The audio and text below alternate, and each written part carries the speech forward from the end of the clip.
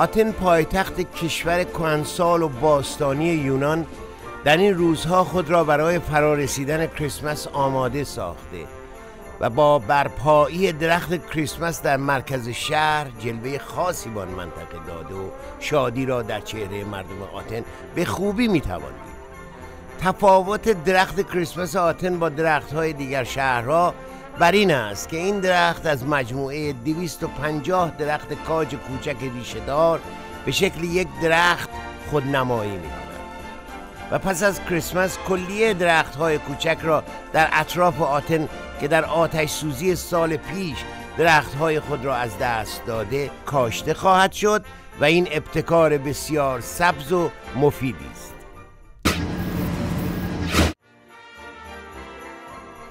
بابا نوئل یا سنتا را همه جا این روزها می این پیرمرد که سمبل مهربانی است در همه نقاط دنیا محبوب بچه هاست در فلوریدا به جای یک بابا نوئل تعداد زیادی لباس بابا نوئل به تن کردن و برای سوار شدن به چرخ و فلک در سی ورد شتافتن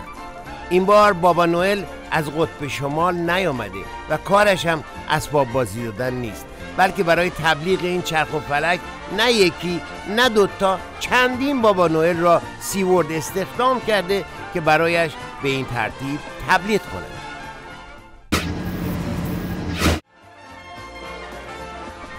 در شهری در جنوب شرقی ژاپن در یک مرکز تفریح آموزشی به نام پارک آکواریوم مسئولین مؤسسه برای جلب تماشاچیان پنج بچه پنگوئن را با لباس بابا نوئل در محبته به گردش در میآورند و مورد توجه تماشاچیان نیز قرار گرفته.